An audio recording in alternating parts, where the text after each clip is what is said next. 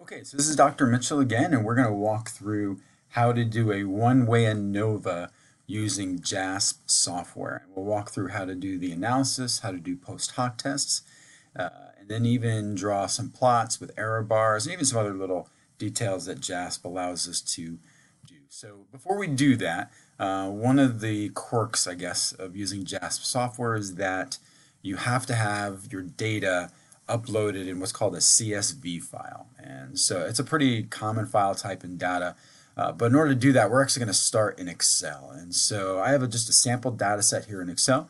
Uh, I have basically four groups, class 1, class 2, class 3, and class 4. Uh, these are independent groups. So if we're doing t-tests, we would do independent t-tests, obviously, but we have more than two groups, so we have to do an ANOVA. Uh, but separate groups. And uh, let's just say for this study, we gave each group a drug, and then we did uh, we acquired a test score after that. And so in each column are the test scores for each of those groups. You notice obviously there's a different sample size in each group.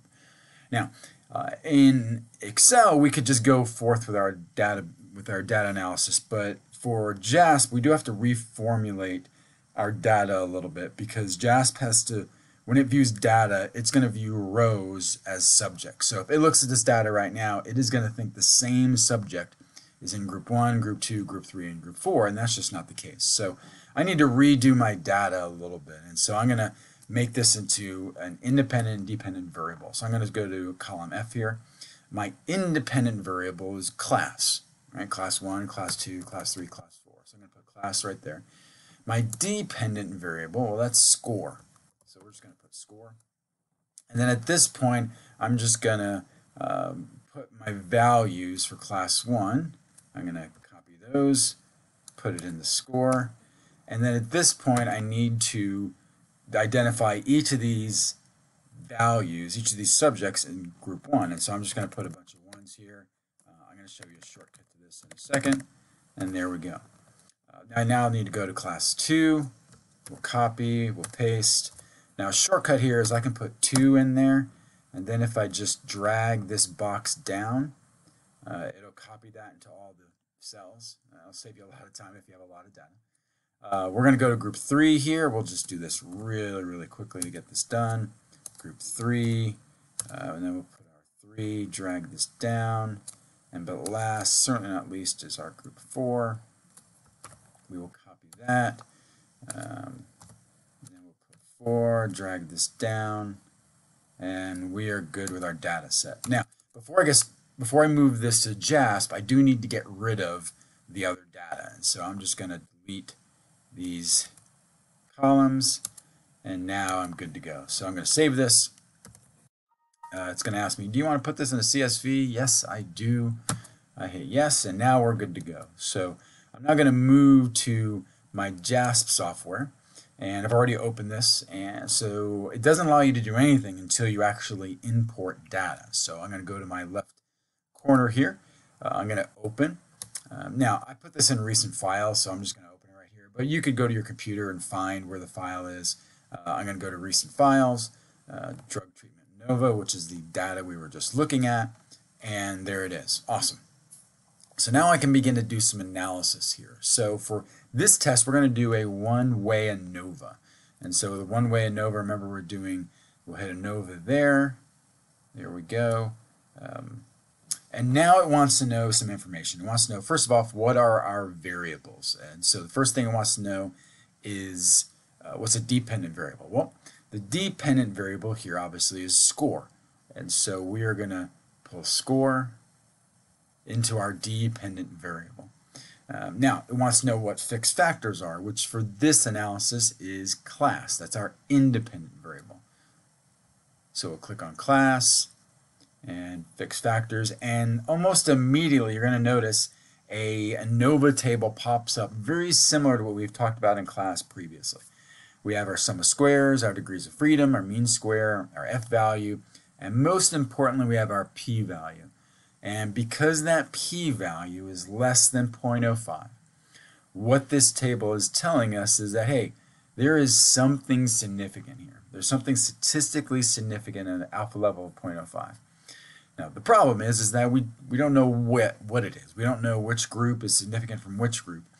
And so at this point we need to do some further testing. Uh, and so that's where we're going to scroll down. And as you notice, as we scroll down, you have a lot of different things we can do here. Uh, one of those, by the way, we could just click on descriptive statistics and it gets uh, data for each of our groups, mean, standard deviation, which is very helpful to you. Uh, we could do effect sizes, and that's going to put the effect sizes in our ANOVA table. We talked about effect size already. Um, but I want to go down to post hoc tests. And so I'm going to go to post hoc test. And this is going to allow me to do some post ANOVA analysis. So the first thing it asks is, okay, what variable? Well, I only have one independent variable, so this is really easy. We're going to look at class. So I'm going to move class into the area I want to test. And now as I scroll down, and I'm going to move that up here, as I scroll down, I now have a different table. This is a post hoc table. And I can use different uh, post hoc tests. Uh, a couple of these we talked about in class, the Tukey test, the Scheffé test. I'm going to use the Tukey one just because I can. Uh, there's other ones you can use here. They're going to be somewhat similar for this data. And what I'm interested in this table, there's two things. One is that this table is now comparing every group versus every other group. It's almost like it's doing multiple t-tests. So, and you'll see 1 verse 2, 1 verse 3, 1 verse 4, 2 verse 3, so on and so forth. And then the most important thing is all the way on the right side is giving us a p-value from the Tukey test it's done to see which groups are significantly different. And as I scroll down here, as I look at these p-values, because these are p-values, I'll notice that one of these, 0.022, is less than 0.05. Well, that means that that, that specific comparison is significantly, uh, statistically significant. And so if I look across, that comparison is group 2 versus group 4. And so I can say that Group 2 is significantly different than Group 4. And by the way, if you look at the group means, it's not a terrible shock. Group 2 has a mean of 78.7. Group 4 has a mean of 88. Uh, if you look at the standard deviations, eh, you know, I'll, I'll go with that. That sounds good.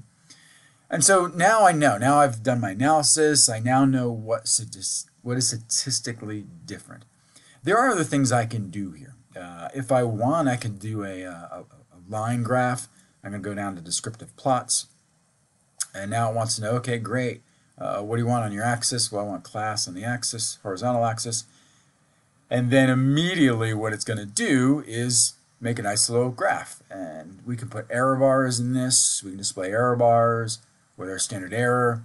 Again, kind of like we've been doing in Excel. Nice and pretty. Now, I will tell you, uh, JASP is not awesome at doing bar graphs. I would encourage you to probably use Excel to do really nice graphs. I mean, this is good, but it doesn't have a title. You know, the units aren't there, so it's fine. Uh, it's easy to do the error bars, but uh, it's a little little rigid when it comes to the how it looks.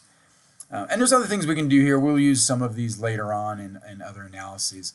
Uh, but that's how we do a one-way ANOVA in JASP. Hope the video helped, and we'll see you in the next video.